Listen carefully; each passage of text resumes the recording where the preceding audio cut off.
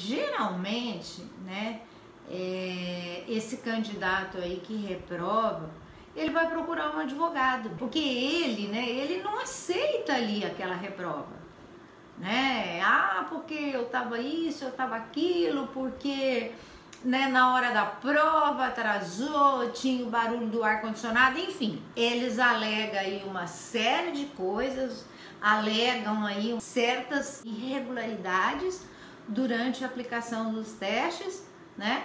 É, pensando até em, em, como diz assim, conseguir cancelar essa avaliação, né? Para que eles realmente façam outra. Na verdade, ele quer uma outra oportunidade, né? De fazer uma outra avaliação psicológica. E aí, quando eles vão no advogado, né? É, o advogado então vai falar assim: olha, você vai procurar um psicólogo e aí você vai fazer uma bateria de testes, né?